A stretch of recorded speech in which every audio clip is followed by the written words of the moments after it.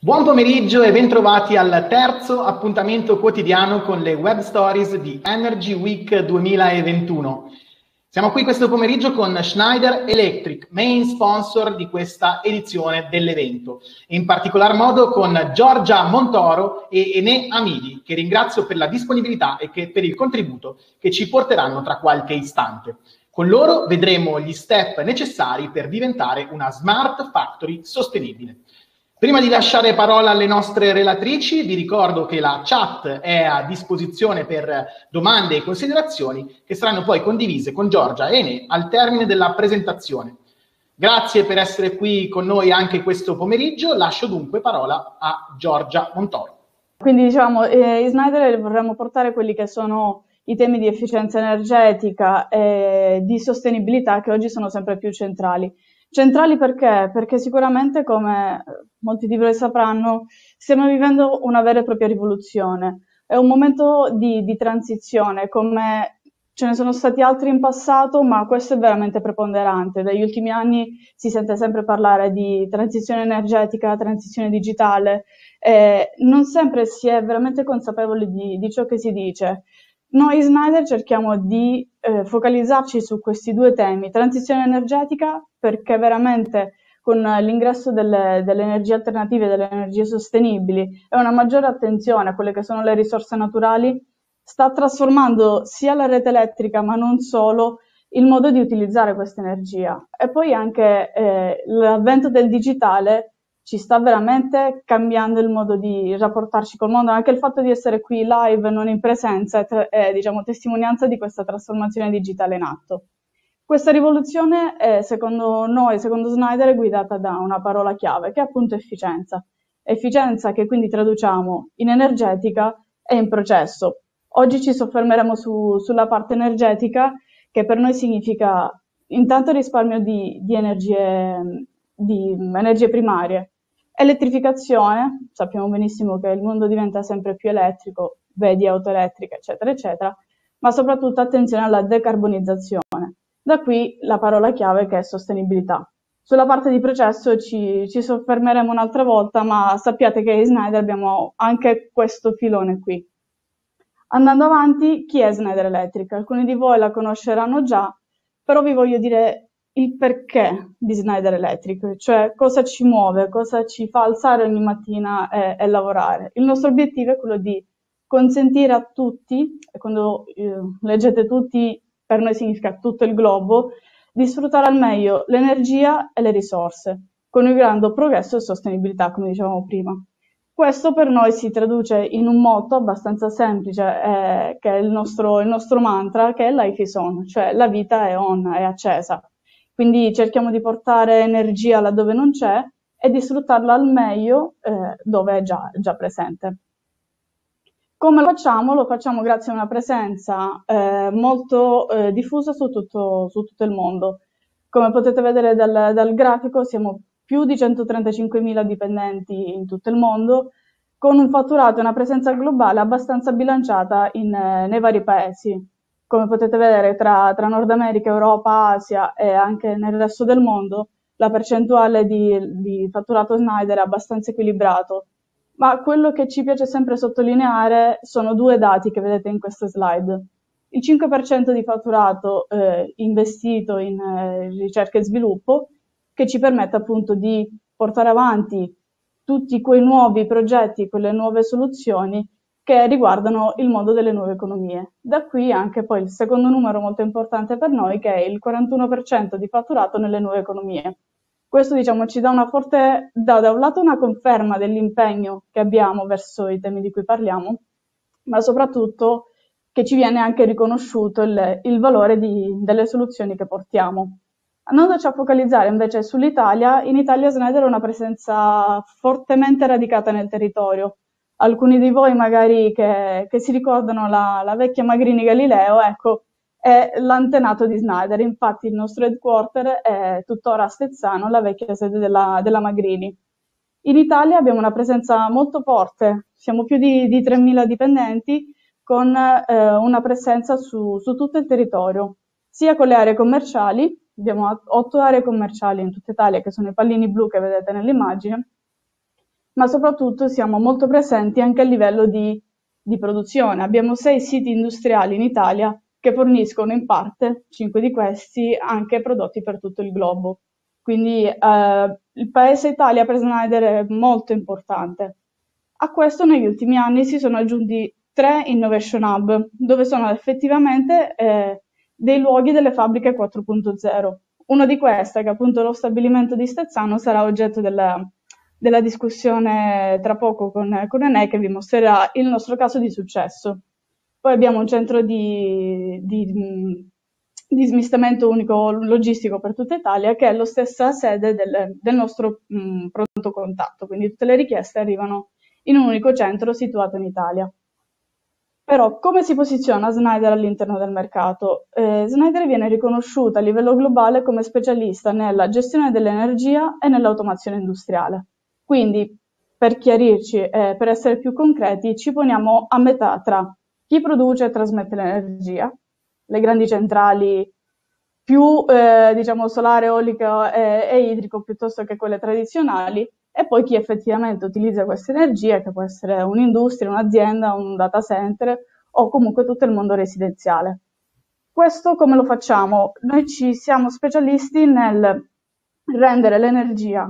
sicuramente sicura, connessa ed efficiente, che sono appunto i nostri obiettivi. Come lo facciamo? Lo facciamo con questa piattaforma digitale che, che chiamiamo EcoStructure perché ricorda appunto un ecosistema, un'ecostruttura che ci permette di eh, appunto rendere l'energia, come vi dicevo, eh, sostenibile, sicura ed efficiente. Una, una, soluzione, una piattaforma digitale che, come vedete qui nell'immagine, si basa su tre livelli. Tre livelli che sono ovviamente legati tra loro in modo verticale, eh, ma che sono trasversali a qualsiasi ambiente. Questi tre livelli partono appunto da una parte hardware, che sono i prodotti connessi. Da diversi anni ormai Snyder eh, ehm, produciamo e vendiamo ai nostri clienti solo prodotti nativamente digitali, cioè che sono in grado di comunicare già così eh, come escono dalla fabbrica, senza bisogno di ulteriori, di, di ulteriori componenti. Questi prodotti sono connessi perché appunto è fondamentale sempre di più la, la raccolta dei dati, le informazioni. Queste informazioni che dal campo vengono poi mandate al secondo livello, quello che qui vedete Edge Control, che fa un po' da, da concentratore, perché è vero che dalle, dalle, mie linee, dalla mia distribuzione elettrica posso raccogliere tantissime informazioni, ma poi le devo concentrare da qualche parte. Il terzo livello invece è quello delle, delle app, degli analytics e dei servizi che prendono tutti questi dati che io ho accumulato e che in parte posso già utilizzare ma li rendono disponibili a un livello superiore già ordinati eh, con un certo criterio, perché spesso una delle difficoltà che si incontrano con i big data è la capacità di, di analizzarli, perché è vero che ho delle informazioni, ma devo poi saper trarre e commutarle in azioni, queste, questi dati che ho. Quindi con questo terzo livello siamo in grado anche di aiutare i nostri clienti ad avere delle, delle soluzioni e un'interpretazione a quei dati che ho raccolto dal campo. Questo è trasversale appunto, come dicevo, su diversi settori. La nostra piattaforma la, la possiamo applicare al mondo delle, degli edifici, dei data center, mondo industriale e anche al mondo delle, delle infrastrutture, ognuno poi con una sua specificità. Andando avanti, eh, perché Snyder parla di sostenibilità e quali sono gli obiettivi che ha Snyder? Bene, a differenza di eh, quelle che sono le linee guida delle, delle Nazioni Unite, Snyder si è posta degli obiettivi a lungo termine, ma non così tanto lungo, perché sebbene le Nazioni Unite danno come termine ultimo il 2030, Snyder ha deciso di raggiungere quegli stessi obiettivi cinque anni prima, nel 2025. Obiettivi che, come potete vedere qui, sono trasversali, sia da un punto di vista prettamente, eh, diciamo, industriale o comunque il, quello che riguarda il nostro core business, ma anche degli obiettivi sociali. Eh, ho, abbiamo appunto obiettivi per creare pari opportunità, per l'inserimento delle nuove generazioni, per il potenziamento delle comunità locali. Però oggi vorremmo soffermarci un po' di più su quello che magari può essere un tema più di vostro interesse, quello come essere sostenibile, quindi agire a vantaggio del clima, col tema fondamentale della decarbonizzazione de, delle, dell'impatto che hanno le aziende, è quello nell'essere efficienti nell'utilizzo delle risorse. In questo caso ci viene in soccorso la digitalizzazione, quindi quei dati di cui parlavamo prima. Nello specifico, eh, gli impegni che Snyder ha per, eh, per essere più sostenibile hanno sì una scadenza nel 2030, ma questo se seguiamo le linee guida del, delle Nazioni Unite. Ma il gruppo vuole andare oltre, vuole arrivare entro il 2050 a essere un'azienda totalmente ecosostenibile. Attraverso questi step che vedete qui nel, a distanza di circa 10 anni l'uno dall'altro per passare dall'essere carbon neutral ad avere completamente una supply chain a zero emissioni. Nel senso ci impegniamo sia con i nostri fornitori sia a valle con i nostri clienti ad avere un impatto eh, zero sul, sull'ambiente, con tutti gli step eh, intermediari che ovviamente sono, sono necessari. Però questo per farvi capire come effettivamente questo impegno di essere sostenibili non è solo, fatemi passare il termine a livello marketing, ma ci crediamo veramente al tal punto da andare a rivoluzionare la nostra, la nostra catena di fornitura. Sempre ritornando al perché Snyder parla di, di sostenibilità, quale titolo ha? Bene, a noi ci piace dire che il nostro contributo è unico, perché agiamo su entrambi i fronti alla sostenibilità. Per il discorso che facevo prima, siamo noi stessi i primi a dare un esempio di sostenibilità. Infatti, il caso che vi presenteremo dopo con, con Enè della, della, nostra fabbrica di Stezzano, ma anche la sede di, di Euroterm, che è una consociata del gruppo, sono delle sedi a impatto zero di, di anidride carbonica, quindi siamo noi stessi i, diciamo, i primi clienti della, dell'azienda, quindi solo dopo essere esempio possiamo vendere queste soluzioni e, e accompagnare nostro, i nostri clienti a essere sostenibili, cosa che già facciamo da anni con diciamo, discreto successo, tant'è che possiamo raccontare diverse storie dei nostri clienti che potete trovare anche sia sul nostro sito ma anche sul canale YouTube, qualora vogliate approfondire. E questo ci ha permesso di avere un importante riconoscimento dal Corporate Knights, che è quello dell'azienda più sostenibile del mondo. Eh, giuro che non sono dati fasulli, potete anche andare a controllare. Eh, diciamo, è un riconoscimento che ci fa dire, eh, ok, l'impegno che abbiamo preso sì è grande, però ci crediamo e stiamo facendo delle azioni concrete. Quindi questa mia introduzione era un po' per farvi capire chi è Snyder,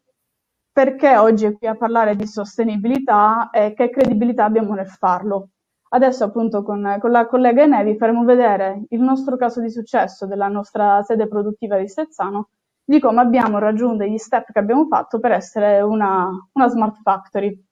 Passo la parola a lei, ci risentiamo dopo per le domande.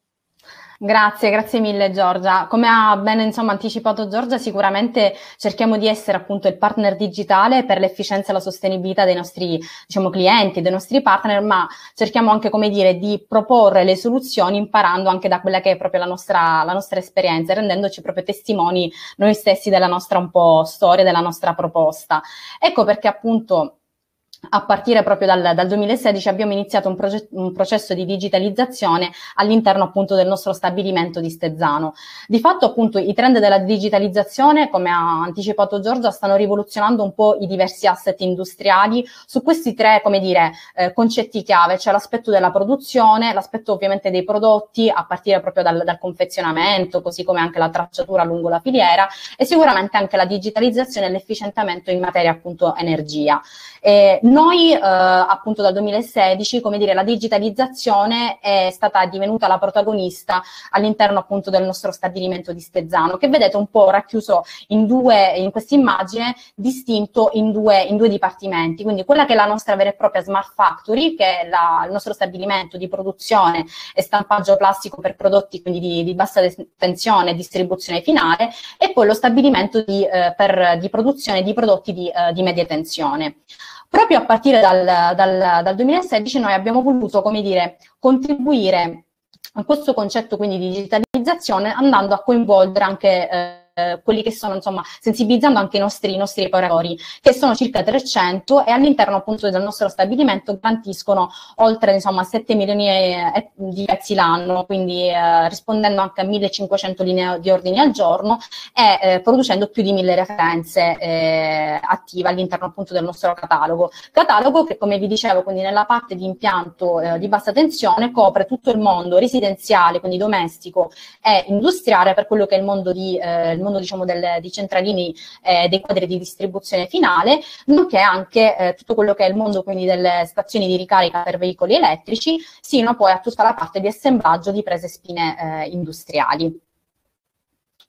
La nostra trasformazione digitale ovviamente come ogni cambiamento, eh, come dire, eh, ogni nuovo paradigma parte in un processo abbastanza insomma, eh, diversificato, andando poi a lavorare sulle diverse implementazioni. Noi, oggetto di discussione di oggi, sarà sicuramente la parte di efficientamento energetico, però come vedete un po' da queste timeline, dal 2016 abbiamo integrato una serie di come dire, soluzioni abilitanti quelle che è l'industria 4.0, quindi da quella che è sia come dire, il concetto di eh, gestione e, e digitalizzazione di, di, processi, nonché anche come dire, quella che è la sensibilizzazione e il training dei nostri operatori, in modo tale da come dire, fam, farli fam, familiarizzare sempre di più in maniera come dire, anticipa, anticipatoria rispetto a queste soluzioni e nuove tecnologie, ma soprattutto per favorire e garantire sempre quella che è la sicurezza all'interno appunto del, del, nostro, del nostro stabilimento. Come abbiamo approcciato quindi la nostra digitalizzazione? Sempre appunto con la nostra architettura digitale, quindi partendo da questo famoso primo livello,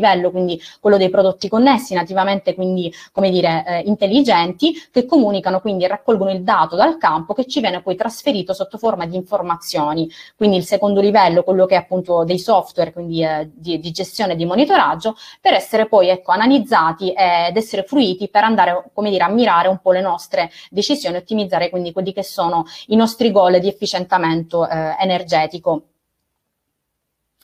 Oggetto di discussione oggi sarà eh, questa domanda, cioè come ottenere efficienza energetica ed essere sostenibili. Come abbiamo noi approcciato questo tipo appunto di, di obiettivo? Sicuramente abbiamo ragionato eh, riprendendo quella che è la logica, quindi eco-structure, quindi i tre livelli, quindi siamo partiti da un primo livello che è quello appunto dei prodotti connessi e quindi abbiamo, come dire, iniziato proprio dalla, dalla, fase del connetti. Il connetti perché? Perché è utile? Perché la, la, connettività diventa funzionale per, come dire, collegare i nostri dati di consumo energetico a quelle che sono, per esempio, le singole aree e linee produttive all'interno del nostro stabilimento. Ed effettivamente è quello che abbiamo fatto a partire dal nostro stabilimento di media tensione, dove abbiamo fatto in un primo step una mappatura di quella che è la rete elettrica all'interno del nostro stabilimento e in questo caso, nello stabilimento di media tensione, abbiamo individuato, come dire, tre aree aree principali. Nella parte invece di bassa tensione siamo andati, dire, a lavorare un po' più di dettaglio. Abbiamo diversificato ciascuna linea di produzione sia dal dipartimento di stampaggio plastico che di uh, assemblaggio di prese spine, quindi industriali, nonché tutta la parte quindi di uh, gestione e monitoraggio dell'illuminazione, così come la parte uffici e uh, officina. Come lo abbiamo fatto? In una logica quindi di, come dire, scalabilità. Quel famoso primo livello, quindi il, il, primo livello appunto dei prodotti connessi, abbiamo, come dire, individuato quindi quelle aree che abbiamo riconosciuto come critiche e per, come dire, eh, valorizzarne e avere quindi consapevolezza del consumo energetico e come questo impattasse poi sul consumo totale, abbiamo inserito una serie quindi di tecnologie intelligenti, cosiddetti prodotti connessi, che si traducono in questa architettura che vedete qui di fianco. Quindi sostanzialmente siamo partiti da una serie serie di sensori di monitoraggio wireless, i nostri power tag. Abbiamo inserito una serie di strumenti eh, di, diciamo, di misura, quindi misuri, misuratori di energia, come per esempio il PM8002, eh,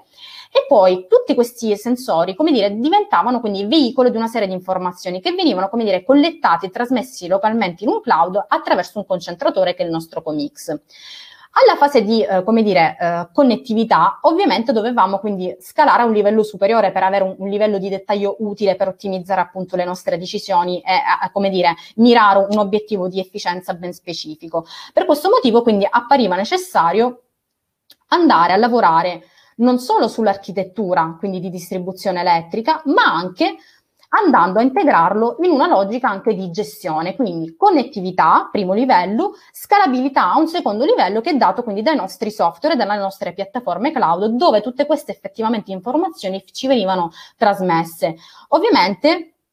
tutte queste architetture sono state, come dire, anche incentivate e, eh, come dire, fruite maggiormente grazie anche all'accelerazione del momento che stiamo vivendo un po' in, in questi ultimi anni, soprattutto che vedrà protagonista il, insomma, il prossimo anno 2021-2022, che è quello appunto di transizione 4.0.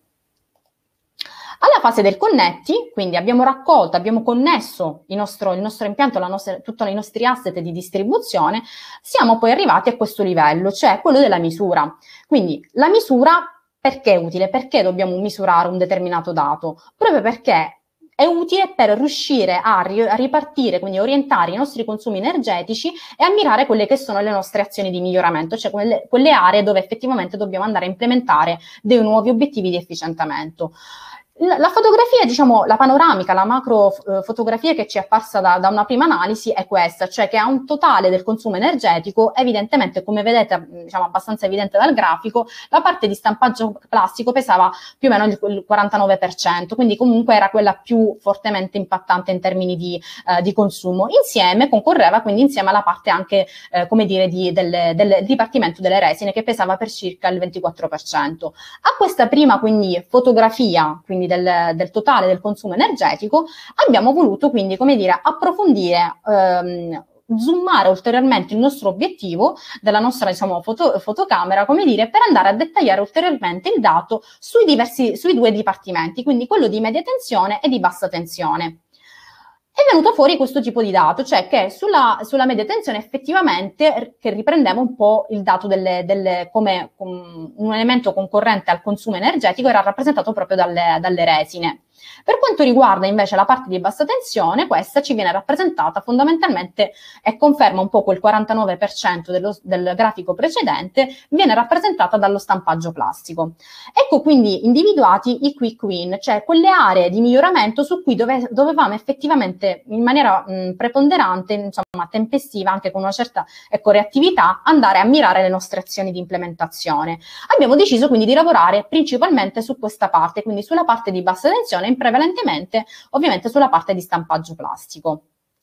Cosa abbiamo fatto? Quindi questo apre al secondo capitolo della parte di misura, ossia quella di andare a organizzare quindi i, nostri dati che abbiamo raccolto alle singole unità di processo. Effettivamente è venuto fuori che i nostri consumi energetici, quindi legati a quella parte della quella fetta della nostra torta, legata quindi allo stampaggio plastico, vedeva, come dire, una, una concorrenza importante tra due, eh, tra due, parti, tra due unità di processo, quella appunto delle, delle pompe e delle camere di eh, calde delle stampanti plastiche, dove venivano, diciamo, diciamo, rappresentata da un 43 più o meno a un 23%.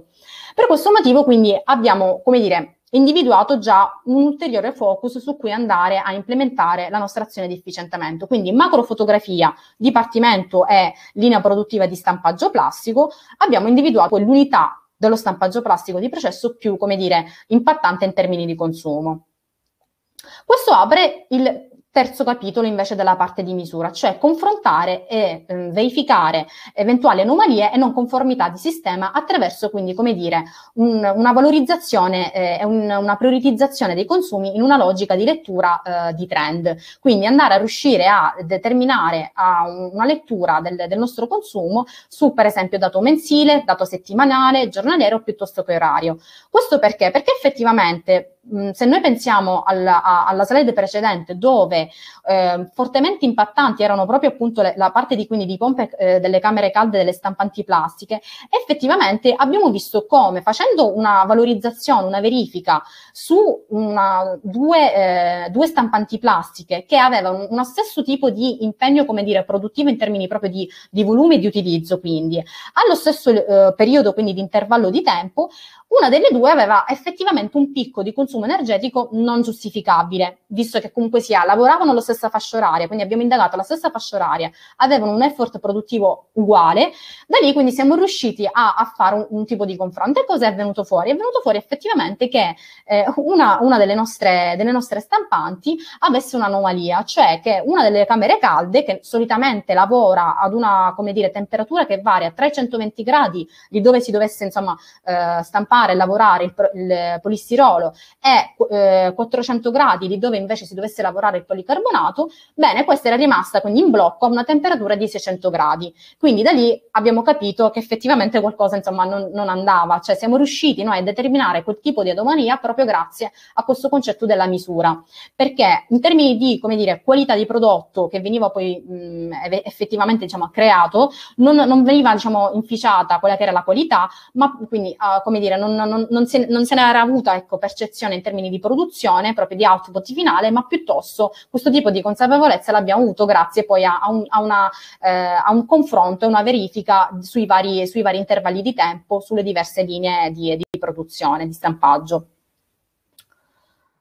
Un altro capitolo della misura è stato quello che è eh, utile per conoscere quello che è il, diciamo, l'impatto del consumo energetico sul costo prodotto, cioè fondamentalmente ogni referenza, ok, quanto mi costa in termini energetici. Quindi sicuramente abbiamo fatto un'analisi, una macrofoto su quello che è il costo del prodotto ed è venuto fuori che sicuramente la parte più importante è eh, senza dubbio la parte di eh, ovviamente materia prima, però comunque sia una, uh, una fetta utile anche di, di particolare interesse è rappresentata da questo 1% legato a quello che è il consumo energetico legato alla produzione di scarti, perché evidentemente ogni scarto, eh, ogni prodotto scartato deve essere, come dire, riprodotto e quindi un ulteriore consumo energetico. Questa, diciamo, analisi, tutti questi dati, come dire, questi semafori che vi ho fino ad ora un po' proposto, ci hanno eh, aperto un po' lo spazio poi a quella che è la terza fase del nostro processo di digitalizzazione ed efficientamento energetico. Perché? Quindi siamo partiti da una prima visione che era quella di andare a individuare gli asset critici, connetterli, raccogliere il dato da parte di questi eh, asset critici, misurare quel tipo di dato e da lì quindi in funzione della misura di quel dato andare poi a, come dire, ottimizzare e agire. Quindi apriamo il terzo capitolo del nostro processo di efficientamento energetico, quello dell'agisci. L'agisci effettivamente, come dire, è la parte più operativa, no? Cioè, o, o, ossia il concetto di andare ad ottimizzare ed efficientare quelle che sono le attuali performance in funzione di, degli asset e delle criticità, criticità e delle anomalie che abbiamo visto in funzione appunto in fase di misura, in modo tale anche da prevenire eventuali anche fermi impianto. Cioè, non dimentichiamoci anche il concetto di continuità, come dire, eh, operativa che eh, come dire, se contrastata da, da un fermo macchina di, appare anche oneroso in una logica di, insomma, di redditività e produttività in, in, in uno stabilimento.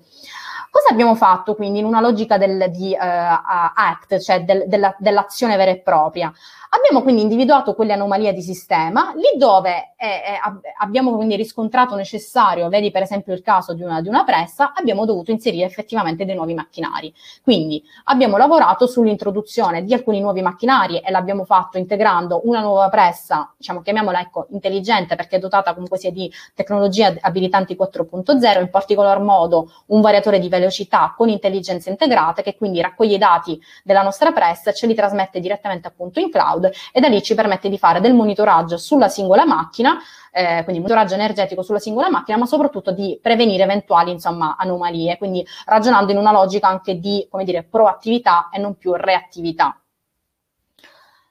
Lì dove invece non era necessario andare quindi a integrare un nuovo macchinario, cosa abbiamo fatto? Siamo andati a lavorare, come dire, su quella che era la base installata, cioè non dimentichiamoci che a volte sia il concetto di, come dire, digitalizzazione uguale investimento importante, no, cioè la digitalizzazione è un processo graduale e anche noi stessi, come dire, che ne siamo i principali sponsor, i principali owner, in questo senso siamo stati un po' anche noi via via eh, un po' eh, contemplativi nel, nella fase quindi di, di, implementazione e quindi anche nella, nella, nella, parte di alcune macchine abbiamo preferito quindi non cambiare del tutto il macchinario ma andare a lavorare su alcune componenti. Quindi avevamo parlato poco fa di, eh, come dire, raggiungimento eh, di, di, di temperature magari non standard rispetto ad alcune, alcune parti appunto delle nostre mh, delle nostre presse, quindi soprattutto della, della, parte delle camere calde, abbiamo lavorato poi su un altro asset della, delle, nostre, delle, nostre, presse, quindi la, la, parte di sistema di aspirazione. immaginatevi che questo tipo di, diciamo, di, uh, di apparato della, della, della, pressa lavora 6 giorni su 7 H24 raggiungendo consumo anche di 16 kW, al di là del funzionamento attivo della pressa, quindi al di là che la, pre, la pressa in quel momento stia producendo, questo sistema di aspirazione viene eh, attivato. Noi cosa abbiamo fatto? Abbiamo modulato rimodulato un po' eh, il suo funzionamento inserendo una serie di tecnologie, quindi per esempio andando a sostituire, a integrare eh, le cappe metalliche con valvole di regolazione e condotti metallici in sostituzione di quelli in carta e con terminali in plastica. Abbiamo cambiato i motori elettrici con alcuni più performanti e soprattutto più efficienti e abbiamo inserito all'interno quindi delle cappe metalliche anche dei ventilatori centrifughi con pale, eh, con pale curve rovesce. Questo per andare a modulare quindi la potenza della nostra, eh, del nostro sistema di ispirazione in funzione appunto del, del fabbisogno della macchina, quindi lì dove effettivamente la macchina no, non lavora andare a modulare la potenza in modo tale da non creare eh, sovraccarichi, riducendo così insomma in qualche modo anche quello che è il consumo energetico eh, della pressa stessa. Queste sono state le principali aree su cui siamo andati a quei famosi quick win, no? Cioè l'esito di quel, di quel famoso quick win parla- di cui abbiamo parlato poco fa. Quindi sicuramente lo stampaggio plastico era quello più preponderante in termini di consumo, ma abbiamo individuato, abbiamo visto in quella torta anche dei, dire, servizi eh, supplementari che concorrevano al consumo, quindi tutta la parte anche per esempio di illuminazione, che seppur impattando per il 10% sul consumo energetico, comunque sia una sua modulazione, una sua, come dire, efficienza efficienza effettivamente ci ha portato poi a questo tipo di risultato, quindi a un risparmio energetico pari al, 4, al, al 4%, monetizzato pari a 20.000 euro. Questo perché? Perché effettivamente avevamo visto, soprattutto nella parte eh, per esempio di uffici piuttosto che, che di magazzino, che eh, potevamo andare, come dire, a ma, magari soprattutto sulla parte di magazzino, ecco, quindi le parti di eh, magazzino o carico per esempio delle materie prime, che erano delle zone, come dire, poco eh, sorvegliate e presidiate, no? quindi in questo senso eh, potevamo modulare il carico luci in, attraverso una schedulazione e un programma, quindi attraverso interruttori crepuscolari, temporizzatori, piuttosto che attraverso appunto il passaggio eh, delle persone, quindi attraverso quindi, dei rilevatori di, eh, di presenza. Questo tipo di, queste diverse fasi, che sono in realtà soltanto eh, alcune, vedremo adesso successivamente quali sono anche i nostri nuovi propositi in questo senso, ci hanno permesso ad oggi, nell'asset temporale di eh, circa sette anni, da quando abbiamo iniziato il nostro processo di efficientamento energetico, con come dire, la concorrenza delle diverse tecnologie che vedete un po' eh, riassunte eh, sotto, quindi inserimento per esempio di eh, variatori di velocità all'interno delle nostre macchine, eh, inserimento di quei famosi strumenti di misura prodotti con in termini proprio di distribuzione mh, che abbiamo appunto eh, mostrato poco fa, eh, tutta la parte di eh, sistema di aspirazione appunto delle nostre presse, eh, nonché poi tutto il lavoro quindi di efficientamento sulle luci, tutte queste diciamo tecnologie ci hanno permesso in sette anni di ottenere questo risultato che ci rende insomma orgogliosi, eh, che è circa, eh, come dire, valorizzato circa il 30%, e in termini economici ci ha fatto insomma risparmiare circa 140.000 euro. Quindi come vedete mh, nel tempo un po' il tipo di investimento è stato come dire ampiamente eh, ripagato. Però attenzione, voglio ribadire un po' il concetto di investimento in una logica non di come dire concetto da sostituzione. Ecco, l'investimento non deve essere visto come un qualcosa di ex novo, un qualcosa che non è preesistente, ma noi, eh, primi fra tutti, cioè è stato un processo graduale e soprattutto siamo partiti da quella che era la base installata. E via poi nel tempo siamo andati a integrare ulteriormente le varie tecnologie che ci perne- potevano fornire e abilitare a un'ulteriore, come dire, focalizzazione, a un ulteriore efficientamento. Ma, come dire, siccome quando si parla di efficienza energetica, questo sicuramente ha un impatto anche in termini, come dire, eh, eh ambientali, quello che è il saving in termini di CO2 è stato appunto un, un 17%, soprattutto a partire appunto tra, eh, a partire dal 2017 fino al 2020, quindi comunque anche questo ci, ci, ci rende, come dire, abbastanza eh, orgogliosi e ci può insomma dare il giusto merito di essere una, una smart factory, quindi non solo efficiente ma effettivamente anche, anche sostenibile. A questo punto, come vi dicevo, abbiamo definito dei next step, perché, eh, come dire, rispetto a quella che era la condizione zero da cui siamo partiti, quindi eh, nel 2014, dove via via andavamo inserendo una serie di strumenti di misura, da lì abbiamo fatto quindi una macrofotografia fino a dettagliare sempre di più, zoomare sempre di più quel famoso, insomma, obiettivo di cui eh, vi parlavo poco fa, Adesso dobbiamo dettagliare ulteriormente, focalizzarci via via su ulteriori implementazioni. Questo perché? Perché rispetto magari a una condizione zero dove eh, ogni miglioria aveva un impatto in termini di efficientamento energetico importante, adesso diciamo rischiamo che se non proponiamo ulteriori, eh, come dire, proposizioni in questo senso, rischiamo di ottenere sempre un livello abbastanza ecco, pa- pa- paretario, insomma, pare- eh, di andare in pareggio in questo senso, no? di non riuscire poi ad andare sempre, sempre oltre, di raggiungere sempre quell'obiettivo, insomma, che ci proponiamo, no? E quindi da qui già abbiamo definito dei prossimi step, in particolar modo sullo stabilimento di media tensione, dove ad oggi la fotografia che vi avevo mostrato poco fa è questa, cioè tre, eh, come dire, gestione e controllo dei dati soltanto per aree, quindi tre aree nello specifico, domani andremo a replicare quello che abbiamo fatto per il dipartimento di bassa tensione, quindi andare a monitorare, collegare le singole, i singoli condotti sbarre delle singole linee produttive, ok? Nonché tutta la parte anche di illuminazione sullo stabilimento invece di bassa tensione, dove eravamo da questo punto di vista un po' più eh, avanti, perché essendo stato, come dire, il primo asset su cui siamo andati a focalizzare i nostri effort, andremo invece a dettagliare ulteriormente il nostro monitoraggio, facendolo come? Quindi dal, dalla gestione e dal monitoraggio della singola linea produttiva andremo alla gestione e al monitoraggio di ciascuna macchina, in modo tale da andare a individuare quindi quelli che sono i dati eh, energetici di consumo energetico di ciascuna macchina, ma addirittura avere il dettaglio del, dei componenti componenti ecco, di, eh, de, di, ogni macchina eh, all'interno insomma, eh, che andremo a, a, monitorare. In questo senso prevenendo sicuramente anche come dire, sovraccariche della, della macchina, de, eventuali anomalie e soprattutto riuscendo anche a fare eh, della, della, attraverso anche una logica di eh, predizione della manutenzione preventiva lì dove insomma è, è, necessaria, andando anche a beneficiare in termini di redditività perché comunque sia si andrebbe a fare la, della manutenzione soltanto lì dove è, ce, ce n'è bisogno, ecco, non, non perché perché comunque sia magari il, il costruttore della macchina lo, lo, lo prestabilisce.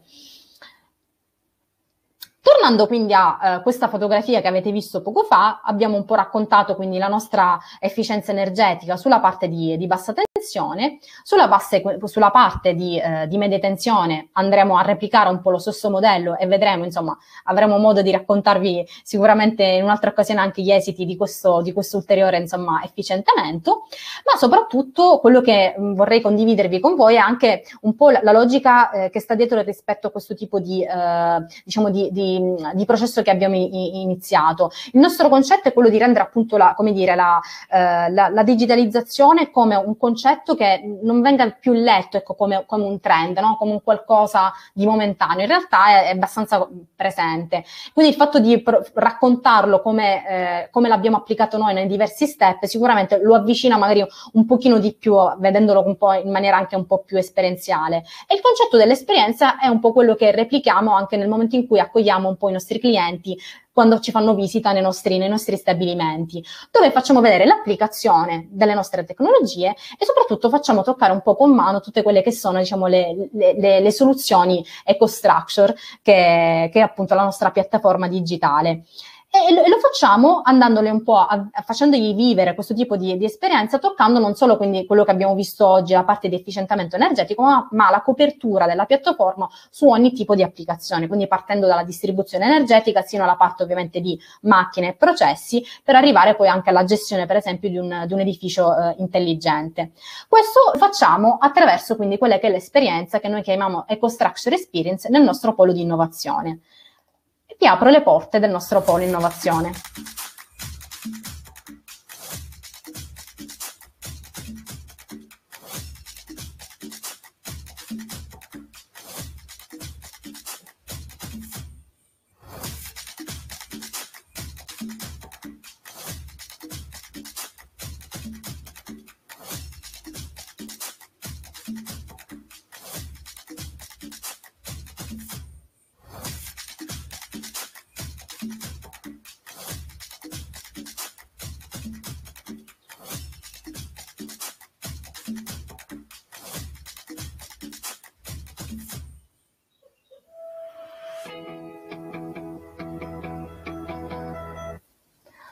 Come dire, quello che è il messaggio che eh, vogliamo un po' trasmettervi, poi insomma io e Giorgia, che, di cui vi condivido qui i contatti, se volete insomma mh,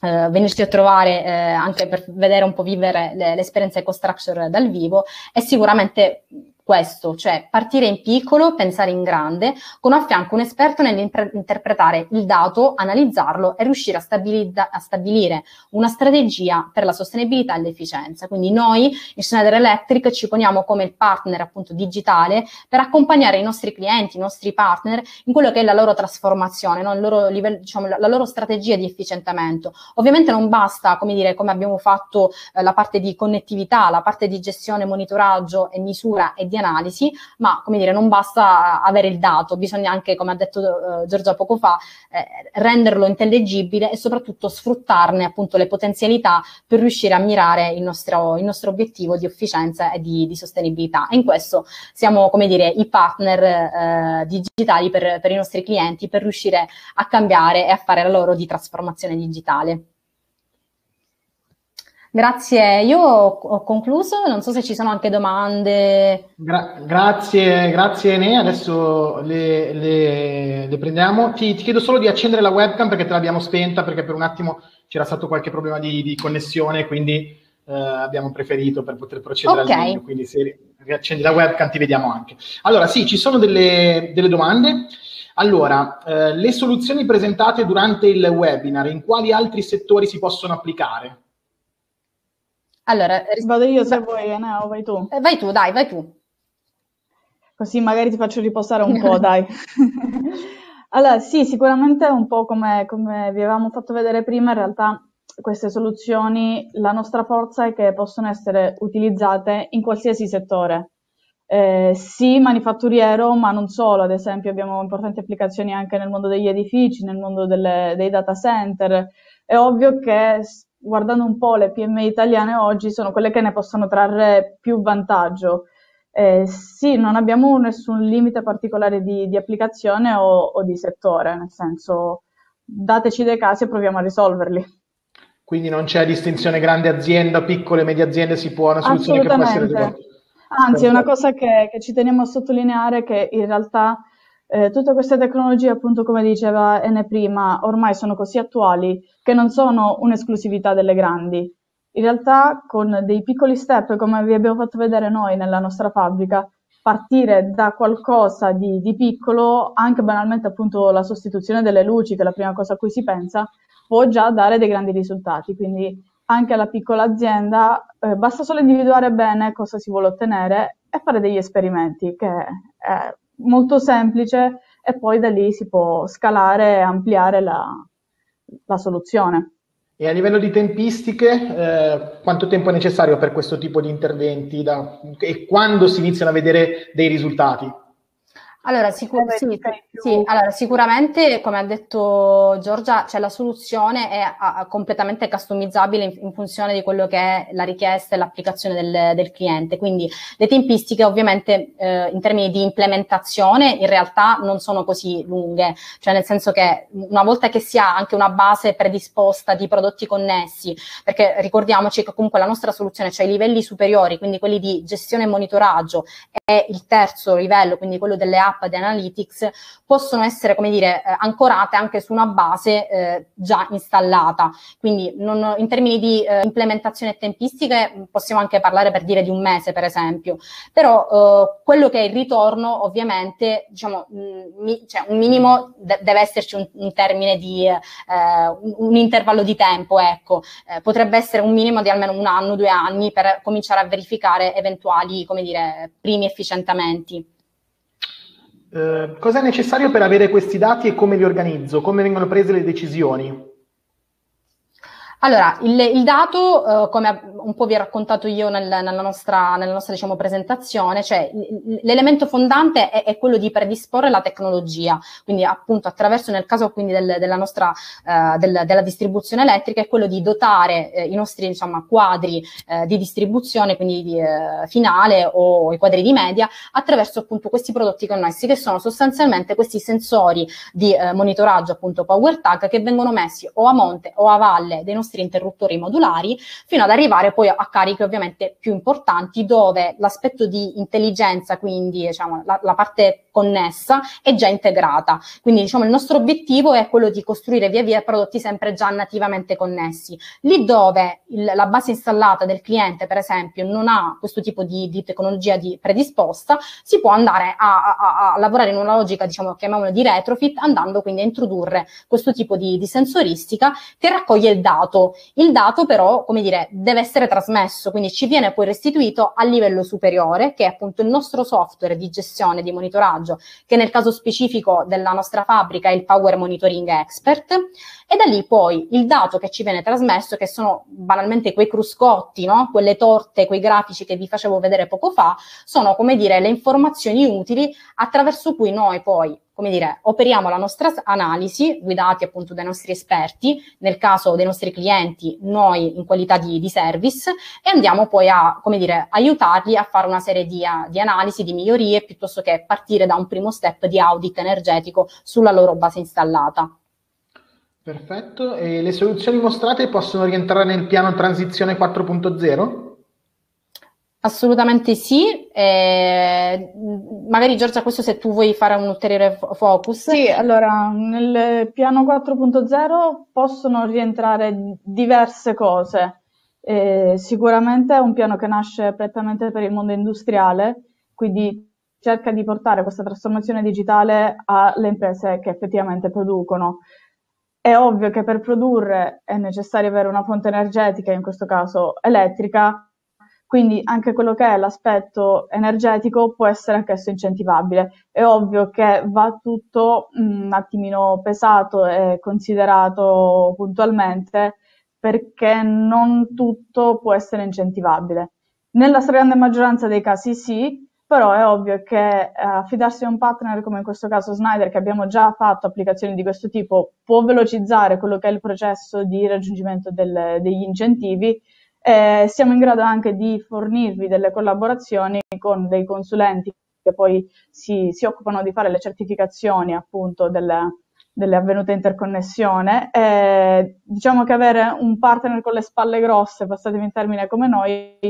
eh, vi permette di essere sicuri che l'architettura può essere incentivata e di velocizzare anche tutta la procedura perché abbiamo già fatto casi di questo tipo, quindi sappiamo cosa può essere fatto, cosa no e cosa può essere migliorato. Però nella maggior parte dei casi la, diciamo, interventi di efficienza energetica, sostenibilità eh, rientrano perché appunto è il, diciamo, il motivo trainante per cui nasce Industria 4.0. Perfetto, eh, grazie. Non ci sono in questo momento altre domande, ma qualora dovessero arrivare sarà ovviamente mia cura condividerle con le nostre relatrici. Non mi resta che ringraziare dunque Enè e Giorgia per questa preziosa testimonianza Grazie, grazie, grazie a voi del, dell'opportunità e scusate insomma il dettaglio anche tecnico iniziale che è sfuggito. Nessun problema, nessun problema, sono cose normalissime. Bene, grazie, grazie ovviamente anche a Schneider di essere main sponsor di questa ottava edizione di Energy Week. L'appuntamento è domani per, per l'ultimo giorno di questa, di questa settimana che abbiamo vissuto così intensa e così ricca di appuntamenti e lo sarà anche domani quando avremo in programma ben tre webinar. L'appuntamento per domattina è un orario diverso rispetto alle altre giornate, inizieremo infatti alle ore 10 con Michele Santovito, presidente di Assoege, che ci porrà una relazione dal titolo L'evoluzione del legge in vista della prossima transizione energetica. Grazie per essere stati con noi anche in questo giovedì. Vi ricordo che questa non è una settimana come le altre, ma è Energy Week.